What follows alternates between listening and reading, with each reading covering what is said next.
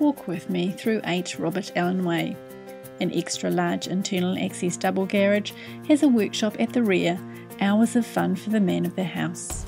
Downstairs, a large bedroom steps out onto its own private patio and boasts its own bathroom. Upstairs, the living room continues a neutral modern colour theme running through the house, and a study nook is tucked around the corner.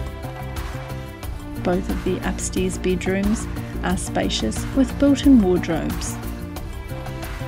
Main bathroom has been modernised, with the toilet conveniently separate.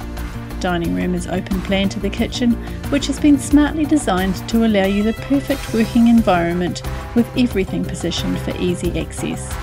A window overlooks the backyard from the kitchen, allowing you to keep an eye on the kids or the guests. There are three access points from the home to the private backyard. The house is close to shopping malls, transport, beaches, and motorways, and zoned for great schools, including Pakuranga College.